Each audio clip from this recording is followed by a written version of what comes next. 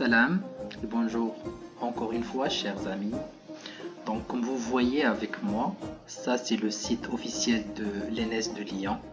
Et bien sûr, vous allez constater que pour candidater et déposer sa candidature, vous aurez besoin bien sûr d'une attestation euh, de langue français et ou anglais, ça dépend de parcours choisi et de la formation comme j'avais déjà mentionné. Donc là, j'ai, euh, je veux juste euh, préciser un point. En recherchant les formations et en choisissant les formations, vous êtes euh, obligé de d'éviter les masters FEADP, FIADEP, parce que voilà, ils seront pas concernés par la bourse d'excellence. D'accord? Bon, bien sûr, si vous voulez, vous pouvez toujours euh, postuler pour euh, ces masters-là, mais il précise que voilà, ils ne sont pas concernés par la bourse d'excellence. Donc, euh, donc, le projet est financé dans le cadre du programme investissement d'avenir. Et là, vous avez bien sûr le site pour déposer la candidature en ligne et avant le 8 euh, janvier comme vous voyez ici et les résultats ils seront affichés en février 2021 d'accord. Comme je vous avais bien dit vous aurez besoin de ces documents là on va euh, on va les revoir. Et les attestations ou bien les certificats de langue. D'accord donc si euh, vous allez me demander quel niveau, ben, je peux vous dire que si vous avez le niveau B2, ben, vous pouvez candidater euh, bien sûr et tenter euh, vos chances.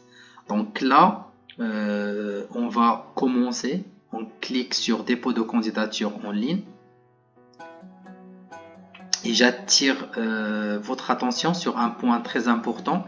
Si par exemple, vous êtes euh, contacté par euh, quelqu'un qui vous dit que voilà, nous on est la bourse de, de Lyon et vous devez par exemple euh, faire un virement ou bien un, truc financier, c'est de l'arnaque, c'est de la fraude, donc c'est à éviter, c'est à bloquer ce message là. D'accord? Donc ils ont déjà parlé de ça et donc il faut bien faire attention. Donc là, vous allez renseigner vos prénoms et noms premier, par exemple, Khalid, nom, euh, votre adresse mail et bien sûr le mot de passe et confirmation de mot de passe. Moi, j'ai déjà fait ça. Donc là, je passe directement par connexion. OK? Et bien sûr, si je me connecte, ben, je vais taper ça, ça, ça, ça faut bien faire attention, par exemple S majuscule, A majuscule, Z majuscule, 9, F majuscule, par contre le T est minuscule, donc connexion, et vous serez euh, dirigé directement vers cette page-là, et là vous allez commencer la candidature. C'est bien de lire tout ça, mais j'ai essayé de vous dire le plus important. Donc là, en cliquant sur suivant, oui, si vous avez plus de questions, et si vous avez par exemple euh, ben voilà des soucis, ben vous pouvez contacter les personnes euh, responsables euh, sur cette adresse. Et comme vous voyez ici ils sont fermés entre le 18 décembre et le 4 janvier. Donc après cette date vous pouvez les contacter. Ou bien vous pouvez laisser des mails. Donc là l'identité c'est très simple. Donc nom de famille euh, comme indiqué sur passeport, prénom, sexe, date de naissance, pays de naissance, lieu de naissance, tout ça, c'est facile, nationalité et bien sûr les coordonnées. Ça c'est très important parce que bien sûr vous serez euh, contacté surtout par adresse mail, donc faites bien attention à ne pas se tromper dans euh, la saisie de votre adresse mail, d'accord? Et là, une photo d'identité professionnelle qui, euh, qui euh, pour vous identifier bien sûr. Donc c'est comme la, photo que vous avez mis sur votre espace euh, Campus France. Donc là, suivant. Et là, euh, on va commencer par la formation la plus récente. Par exemple, je fais un M1 ou bien je fais une licence cette année ou bien je l'ai déjà terminé. Ben, je vais dire que ça a commencé par exemple en septembre 2000, 2019 par exemple. Donc euh, voilà, voilà, 2019, fin de formation. Euh, allez, je dis, euh, c'est pas encore terminé, donc je peux dire juillet. Et là, je choisis par exemple 2020. C'est juste un exemple. Donc l'année d'obtention, vous pouvez la mentionner ici. Le nom de l'université, c'est très important. Le nom du diplôme, par exemple, master en ingénierie et sciences des matériaux avancés comme le mien, ou bien, je sais pas moi, vous pouvez mentionner ce que vous avez. Donc là, ce n'est pas le master ou bien la formation à laquelle vous allez postuler. Non, on parle de vos diplômes, bien sûr. Le niveau, est-ce que c'est un bac plus 4, euh, master ou bien licence? C'est écrit. Et euh, langue d'enseignement, ça c'est très important parce que ça va, ça va vous aider si, euh, si vous avez par, par exemple obtenu un niveau B2 pas, très bien ou bien voilà. Donc euh, un niveau modeste en français. Donc serait bien de renseigner par exemple que vous avez fait euh, que vous avez fait les études en français, d'accord? Et donc là, vous pouvez toujours ajouter une formation universitaire avant ou bien une autre, donc euh, le nombre de formations euh, que vous souhaitez, que vous avez déjà effectué, bah, normalement, vous devez renseigner le bac et ce que vous avez fait après, après le bac, d'accord? Donc là, suivant, vous avez master choisi. Donc là, vous choisissez euh, le master. Par exemple, moi, j'ai fait informatique fondamentale. Et là, vous avez toutes les choses. Et juste un point très important pour voir les formations et les masters disponibles. Là, vous avez ce lien-là que je vais vous mettre dans le descriptif pour voir et pour connaître les différentes formations qui existent.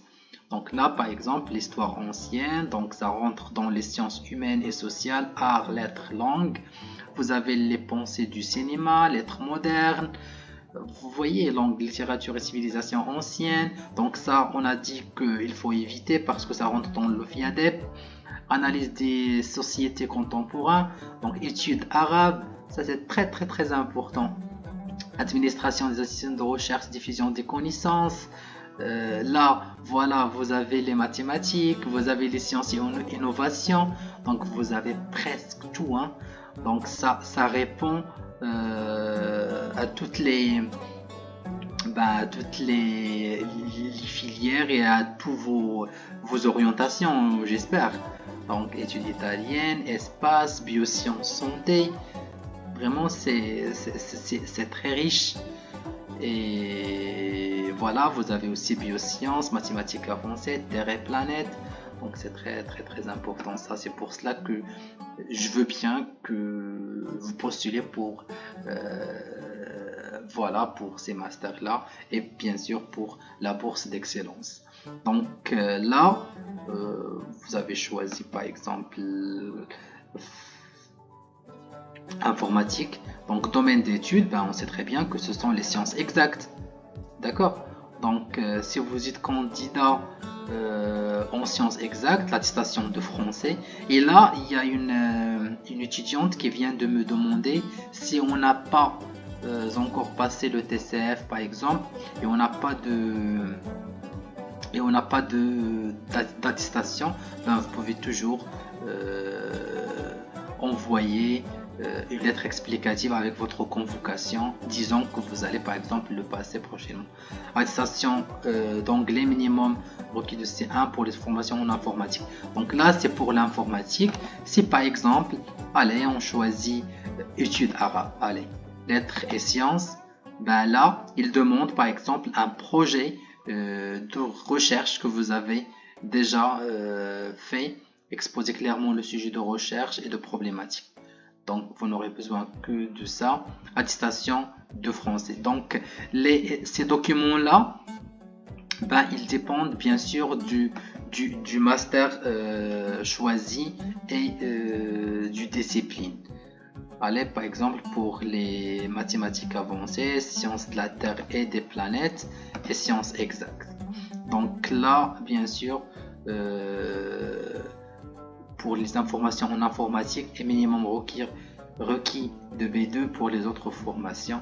Donc là, bien sûr que ça, ça peut euh, présenter un obstacle et, un frein pour euh, pas mal des étudiants.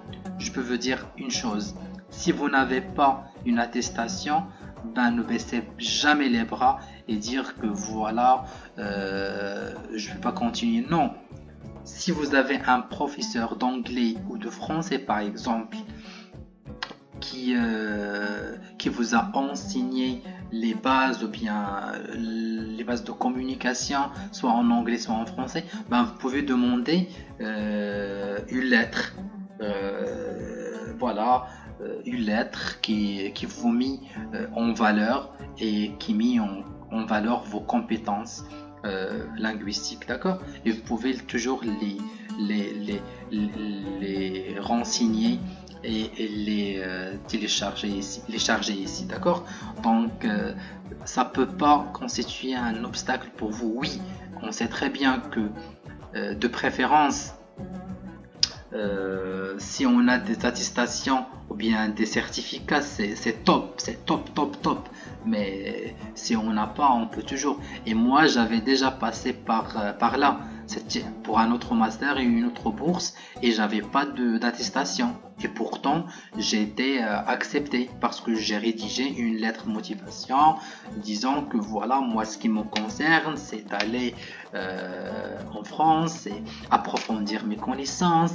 Et euh, ça fait plusieurs années que j'étudie en français et aussi en anglais. J'ai fait des présentations, j'ai même fait de l'animation. Donc oui, ce n'est pas notre, notre langue maternelle, ça c'est sûr, mais quand même, on essaye de faire euh, l'effort pour euh, parler et comprendre et bien sûr euh, perfectionner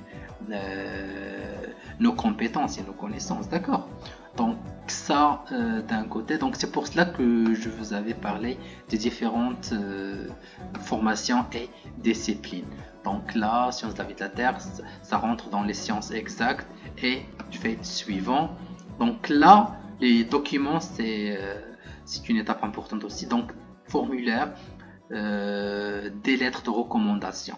Donc, vous allez euh, demander des lettres de recommandation auprès de vos professeurs, des lettres de recommandation bien rédigées. Donc, tout ça, c'est ça, peut être en, anglais ou bien en français, mais de préférence en français, d'accord? Si c'est pas mentionné, donc c'est en français.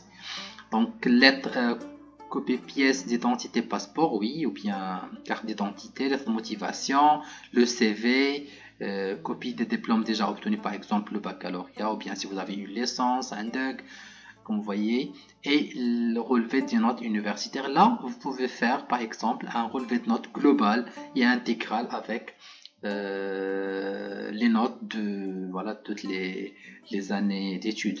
D'accord? Donc euh, voilà, je sais pas si euh, s'il y a quelque chose à mentionner. Donc voilà pour la motivation, c'est une lettre euh, très importante et qui, joue un rôle primordial dans la candidature de, l'étudiant. Donc il faut bien consacrer un peu de temps, beaucoup de temps pour surtout pour ça, d'accord? Donc, euh, si je fais suivant là, comment avez-vous connu la bourse en père Ben, par Khalid Mouane. je ne le trouve pas ici. Donc, euh, ambassade consulat, salon étudiant, université d'origine. Ben, vous pouvez le mentionner? Autre, merci de préciser. Vous allez dire chaîne YouTube Khalid Mouane. si vous le souhaitez, bien sûr. Sinon, vous pouvez euh, cocher une autre. C'est juste pour, euh, pour plaisanter. Donc, après déclaration, et vous allez bien sûr dire oui, je prends note du fait faut lire ça sans les conditions générales. Donc, oui, oui, oui. Et après, suivant. Et bien sûr, vous allez se mettre la candidature. Comme vous venez de voir, c'est très simple. Mais faut bien sûr consacrer euh, du temps pour bien faire les choses. Vous avez encore du temps. La date limite, c'est le 8 janvier. Donc, si vous avez besoin, bien si vous aurez besoin de, plus d'informations, donc merci de me contacter et bien sûr euh, pour avoir des réponses plus précises. Donc, vous pouvez contacter directement euh, le service concerné. Donc, je vous souhaite toutes et tous un très bon courage et je serai vraiment heureux si euh, vous pouvez euh, me contacter après avoir eu par exemple une admission, une acceptation euh, au master ou bien les deux au master et à la bourse d'excellence. Donc ça me fera énormément plaisir. Et pour le moment, je vous demande juste une chose, de s'abonner et de partager le maximum possible avec tout le monde. Et joyeux Noël